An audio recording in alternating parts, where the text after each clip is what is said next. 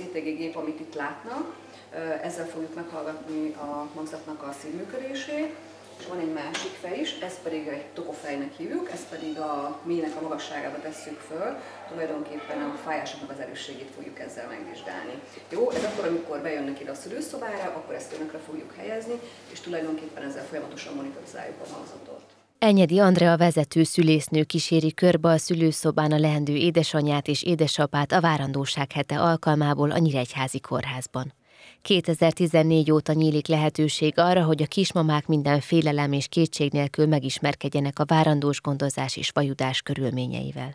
Idén is sokféle érdekes programmal várták az érdeklődőket.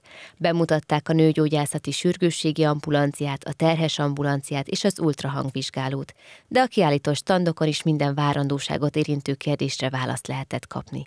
A vajudás során Nyíregyházán több lehetőséget is fel tudnak ajánlani, a háborítatlan szülés az egyik legkedveltebb módszer a kismamák körében. Fel tudjuk ajánlani nekik a vízben való vajudást és vízben való szülést, illetőleg rendelkezünk gimnasztikai labdával, bordásfal, asztallal, vajudó matraccal, a szülő ágyunk is szétszedhető több pozitúrában, miért a kismama éppen szeretne, akár ülve, akár, akár kézláb, vagy ahogy éppen ő szeretné, hogy megfelel neki abban az adott pillanatban, amikor éppen vajudik. A Nyíregyházi Kórház az ország egyik legnagyobb szülészetével rendelkezik. A 2023-as évben több mint 3600 szülést vezettek le.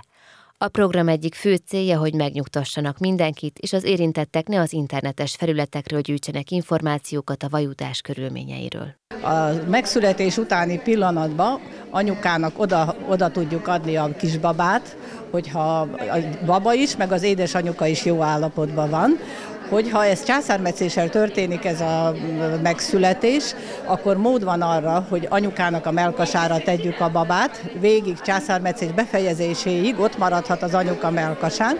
Ha anyuka ezt nem kívánja, akkor ott van apuka, aki már várja a kisbaba érkezését, és hogyha a gyermek, a gyermek állapota megengedi, akkor apuka melkasára helyezzük a babát, amit apukák ki is használnak, és nagyon imádják ezt a folyamatot, és ez ö, ö, nagyon pozitív hatással van a mama, az apuka és egy újszülött kapcsolatára a továbbiakban.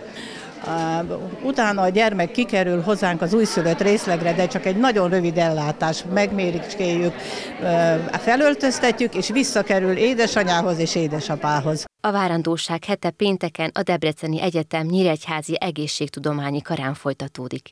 Ekkor az Adorján Gusztáv Tamás emlékkonferencia keretein belül a várandóság és az egészséges életkezdetről lesz szó, megőrizve ezzel az elhunyt főigazgató eszmeiségét és a szülőnők iránti elkötelezettségét, szakmai hagyatékát.